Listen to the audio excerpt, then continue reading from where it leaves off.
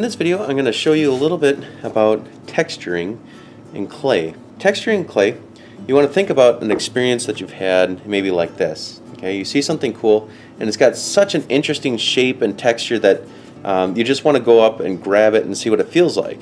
Okay, And that's usually about the time that your parents say, hey, put that down. Okay, Well, that's a that's hardwired into our brains to see something that feels interesting and want to go touch it we want to activate that same kind of sensation um, when we create textures. And the way we can do that is by creating multiple layers, thin layers, but multiple layers and depth um, in our texture, and that creates an interest um, into wanting to touch it and feel it and see what it feels like. Up front, we have different texture mats. And these are, you know, a real easy way to get pretty cool textures into your clay very simply. Take a slab and make a really thin slab, you know, either with a roller or you might be able to press in to it with your hand.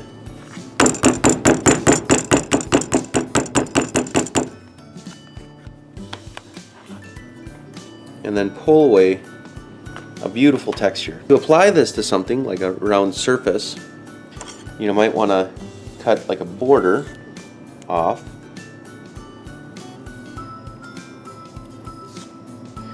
Now if you don't make this thin enough, it's going to look really clumpy um, on your project. So this isn't quite thin enough. I'd actually go thinner than this, but for demonstration's sake, I'm just going to show you what it looks like.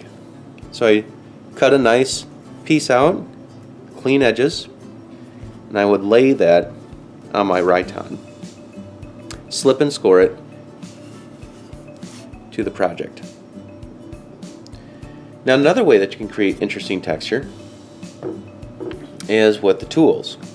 I'm going to just wedge this back into a shape and then make it into a slab again for demonstration purposes. Oftentimes what I see on a lot of projects is people do some pretty cool stuff, you know, but it's all these lines just scratched into the surface of the clay. Now that's not all that interesting. Even if it's done very well, it doesn't create a very interesting texture. It doesn't engage our brain to want to go pick that project up and see what it feels like. A way to give this more uh, depth and dimensionality so that people will really want to go grab it and see what it feels like is to carve down.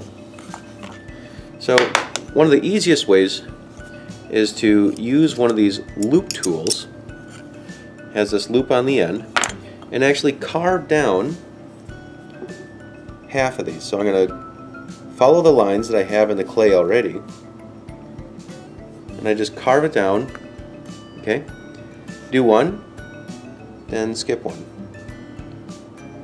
do another one and then skip one. And it gives us a much more interesting texture where we have the surfaces kind of raised up. So we have different layers, different levels, and that's much more interesting. Another way we can do it is actually cut those lines at an angle. So I'm going to take maybe a knife or maybe a loop tool and cut at an angle along those lines.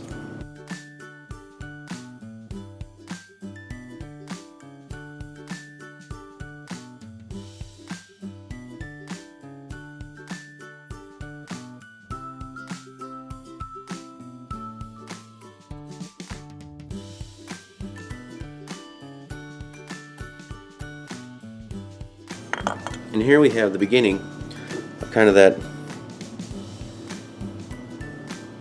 kind of wavy texture. And you would go through and clean this up. And that's going to be that's really cool looking.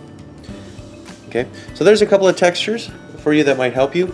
Obviously you can always do the texture where you're pushing the tools in to the clay. You could you know do both and come up with some really cool combinations.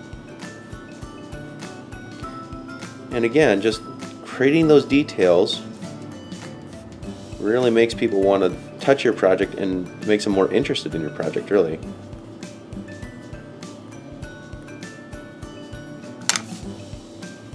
So there's a couple of texture ideas for you in your project.